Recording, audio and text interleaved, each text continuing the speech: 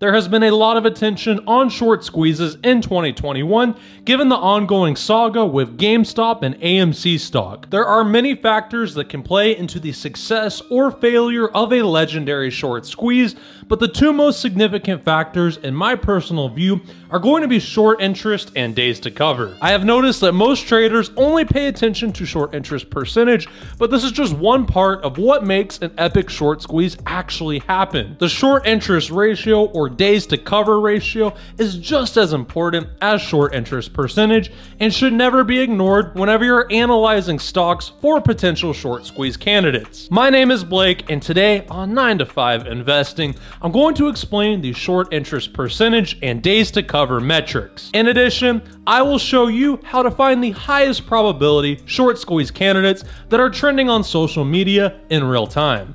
Short interest is simply just the number of shares that have been borrowed or sold short and have not yet been bought back or covered. For someone to actually short a stock, they must actually borrow shares from an investor or a trader that owns shares of said stock, and eventually they must actually buy back those shares to cover their short position.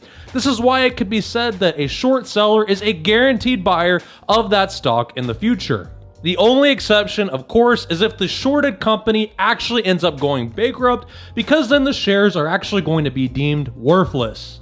Short interest is usually expressed as a percentage value because you're just going to be taking the number of shares short and comparing that to the number of shares outstanding. So that being said, to get short interest percentage, you're just simply going to take the number of shares short and divide that by the total outstanding shares and that is really as complicated as it gets for a short interest percentage. I would say that if you are looking for a short squeeze candidate that has a high probability of actually squeezing, then the rock bottom minimum short interest percentage that I would look for is about 10%. Now, a setup with this low of a short interest percentage could particularly work if there is a high days to cover ratio, which I will explain the mechanics behind that in just a bit. And just to be clear about what I'm saying here, it's not like a 10% short interest is like some sort of hard cutoff for a short squeeze candidate. You could even technically have a short squeeze with a lower short interest percentage than 10%. It's just that the move is not going to be as powerful or explosive to the upside. In fact, I would say that my ideal short squeeze candidate would have a short interest percentage of at least 20%. And this kind of goes without saying, but the higher the short interest, the higher potential for an explosive short squeeze. So how do we go about finding the highest probability setups for stocks that look like they could actually have a short squeeze? I recommend a website called highshortinterest.com. This website basically just ranks all the stocks with the highest short interest percentages. You can also use a website that tracks mentions of stocks. I like to use yolostocks.live. This basically just shows me which stocks are trending on Reddit. Ultimately, you can see if there are any intersections on the list featured on each of these websites to determine if there are any viable short squeeze candidates. I am suggesting this method because you can actually first find the stocks that have the highest short interest, and then you could actually go and track which of these stocks have a lot of eyeballs on them. So for example, I can see on highshortinterest.com that ticker symbol CLOV is actually number six, the sixth most shorted stock in their database, and it has also been trending on Wall Street Bets over the last 24 hours. So just from two minutes of research, I can already tell that Clover Health could actually end up being a viable short squeeze candidate in the near future. It's not like these two data points are going to tell the whole story, but they are certainly a great place to start if you're looking to build a watch list of high probability short squeeze candidates. Earlier in the video, I told you that I would look for a minimum short interest percentage of 10%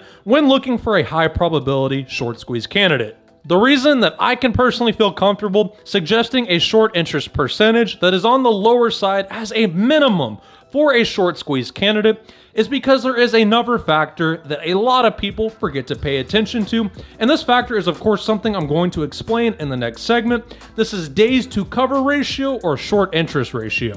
My entire inspiration for making this short squeeze tutorial video is seeing a lot of traders online only talking about short interest percentage and neglecting a factor that they should also be talking about, a factor that is just as important as short interest percentage. The short interest ratio or days to cover ratio is simply just found by taking the number of shares short of a given stock and dividing that number by the actual average daily volume of shares that are traded for that stock. So what exactly does the days to cover ratio tell us? The short interest ratio or days to cover ratio basically just tells us how many days it would take for all of the people that are short on that stock to actually be able to get out of their position, to actually cover the shares that they borrowed to short that stock. It is a measure of velocity that tells us how quickly these shorts that are short on a given stock could actually cover their positions given the possibility that there's some extremely positive news that comes out about the shorted company that makes everybody want to cover. Just to illustrate the usefulness of the days to cover metric, let's pretend for a minute that Toys R Us is actually a publicly traded company still, and this publicly traded company has 10,000 shares outstanding, an average daily volume of just 100 shares, and a short interest percentage of 10%. A stock with a lower short interest percentage like this, again 10%, could still be a great short squeeze candidate if the average daily volume is on the lower side, because this would actually give the short squeeze candidate a high days to cover ratio. The days to cover ratio in this example of Toys R Us is actually going to be 10 days.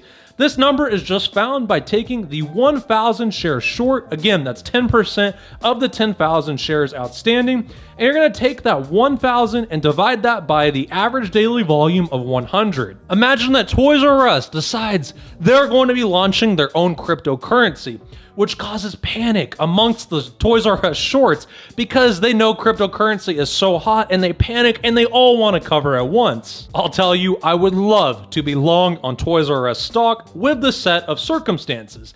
The lack of liquidity is only going to add to the panic of the short sellers that are desperate to cover. Every Toys R Us short seller is running for the exits, trying to buy back these shares to cover their position all at once, all on one day.